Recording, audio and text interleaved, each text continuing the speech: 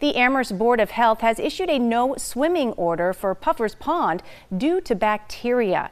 The order issued comes Thursday after a recent test found high levels of bacteria in the pond.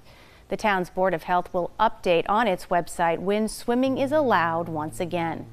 Puffer's Pond has seen temporary closures over the past couple of years, having had to shut down for a time in 2021, 2020, and 2019 after high levels of E. coli bacteria were discovered there. The pond is used for swimming, fishing, nature walks, canoeing, and picnicking.